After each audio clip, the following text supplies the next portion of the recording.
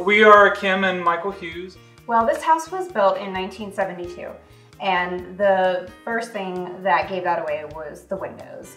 Um, they were obviously the original single pane aluminum framing, but we bought the house in the summer, so we didn't feel like that was something we needed to address, address right away.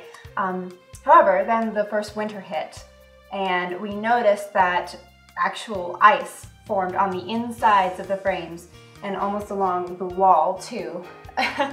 and realized that this is something that we need to fix sooner than later. We were tired of putting plastic up over the windows every winter, so. right, that was our solution. Um, nice to have some good but, windows.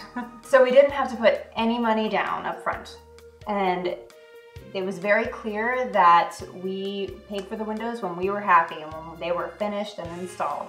And that was really unique. I haven't found that working with any other vendors before. So that gave me a real peace of mind. And again, it was almost bizarre. working with Zen Windows was not like working with salespeople at all. It was almost bizarre how comfortable the process was. And I was always weirded out by that, but in, it turned out great. It just, it seemed too good to be true for so much of the process, but it was true.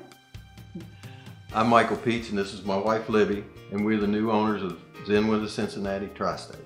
So if you're looking for windows, just pick up the phone, give us a call, or if it's easier and you'd rather, just send us an email and we'll get a quote to you in five minutes. It's simple.